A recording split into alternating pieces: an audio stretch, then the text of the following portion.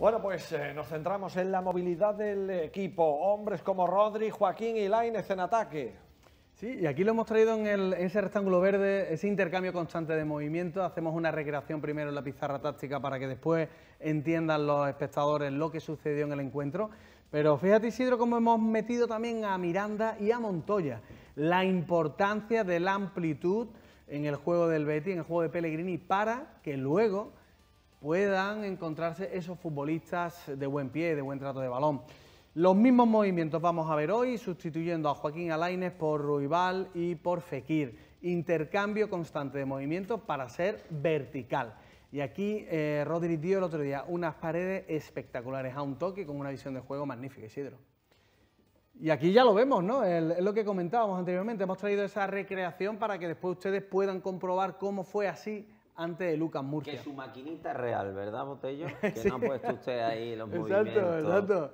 Hombre, sobre todo porque eh, es complicado en un partido en vivo ver eh, qué sucede realmente con los movimientos. Entonces, en la recreación anterior en la pizarra táctica, que ustedes ya eh, puedan anticipar la movilidad. Porque es fundamental en el juego ofensivo de Pellegrini no rehuir el ir a campo rival y junto con la presión que nos daría para hacer otro especial de, análisis, eh, es muy importante esa movilidad de la segunda línea.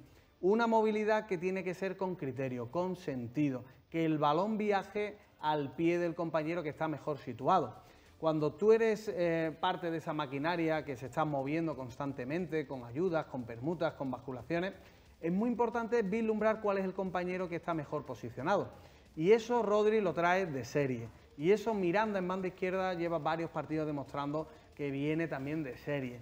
Y estamos hablando de líneas de pase, estamos hablando de intentar ser vertical, de no rehuir nunca el orden atrás para después llegar con criterio.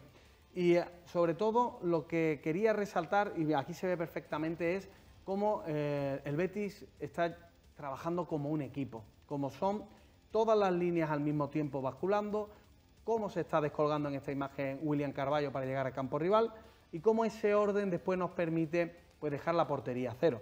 En un deporte tan individual como es el fútbol, el colectivo solo surge cuando cada uno de los miembros que están en el terreno de juego dan la mejor versión de sí mismo.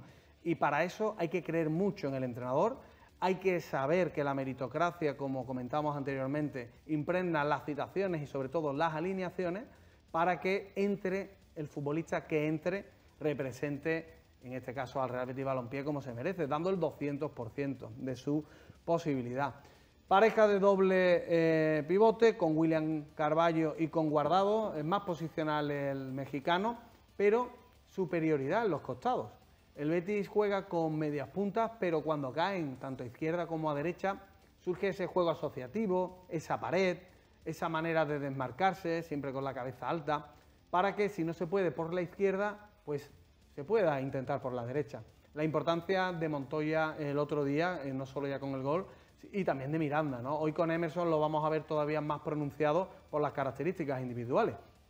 Pero lo que decíamos, la solidez defensiva siempre dentro de esta manera de jugar. Líneas de pase constantes, enfrente a un rival que defendió con muchos efectivos en un bloque bajo, pero la tranquilidad, el buscar al compañero mejor situado.